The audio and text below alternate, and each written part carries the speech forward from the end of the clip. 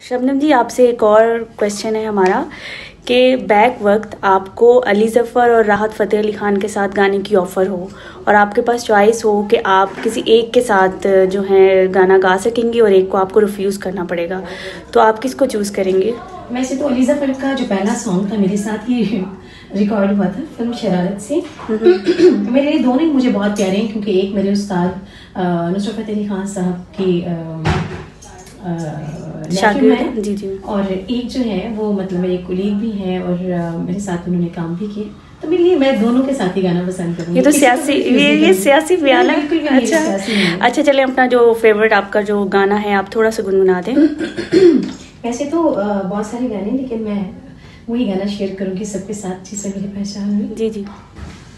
हम्म, दिल चीज़ है क्या जाना?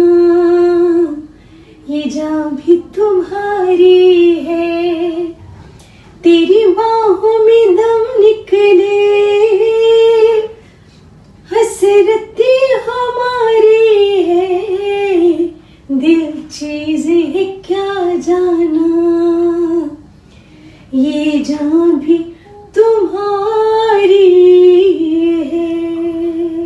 ज़बरदस्त। थैंक यू सो मच और लास्ट में मेरे चैनल की रिक्वेस्ट कर दें जी um, दोस्तों हम अमीर ऑफिशियल को इनके पेज को इनके यूट्यूब चैनल को लाइक करें।